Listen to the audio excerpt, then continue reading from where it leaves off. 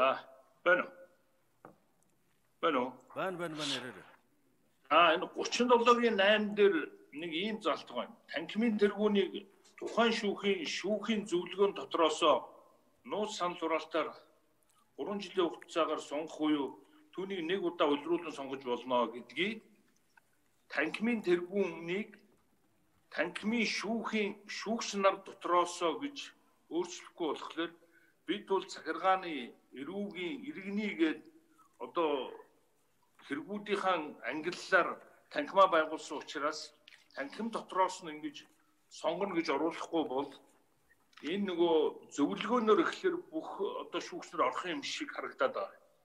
Тэгэхээр зэрэг зөвлөгөөнөр өчгүүл эрүүгийн одоо танкимын шүүгч одоо захиргааны танкимын тэргүүн болдог ч юм уу ийм болж магадгүй магадлалтай учраас энийг бүр наривчлаад цаашлаа ч гэсэн одоо инквайри гişүү ажлын хэсгийн дараа өөрөө мэдж байгаа цаашлаа ч гэсэн бид шүүхийг одоо олон төрлөөр дагнана гэж яриад байгаа шүү дээ. Тийм учраас бол энийг яг танхимын тухайн танхимынхын шүүгчнэр дотроос нууц санал хураалтаар гэж үг үсгийн өөрчлөлт оруулах нь зөв болов гэдэг ийм санал гаргаж байгаамаа.